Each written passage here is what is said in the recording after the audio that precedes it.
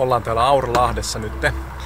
Ja täällä mennään katsomaan kohta, että onko toi jääkaruselli, mikä on tuossa viikonloppuna suuri jääkarusellitapahtuma, niin voidaan mennä katsoa, että onko se, onko se vähän valmistunut ja tota, onko siellä jotakin tapahtumassa tänään vai onko tänään lepopäivä tuossa rakentamisessa.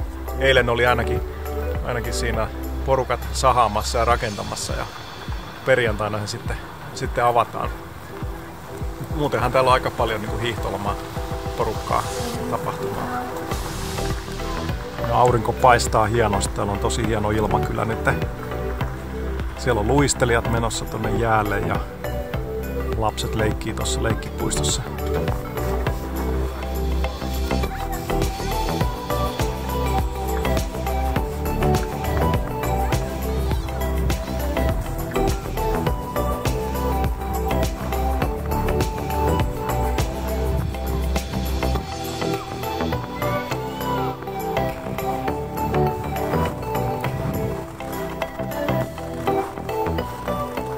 Tässä ainakin tämä ranta-alue aurattu.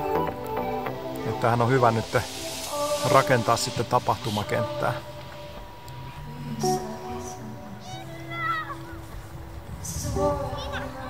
Kävellään tästä leikkipuiston läpi, katsotaan. Hienon näköistä tässä auringon laskuaikana.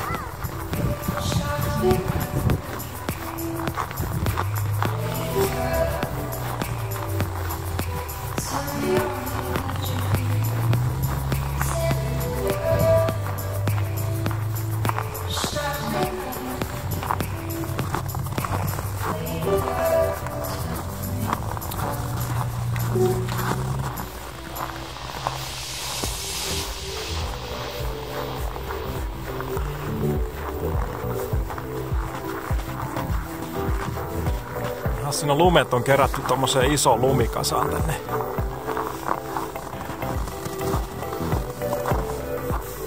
Siinä on sitä jääkarusellin reunaa.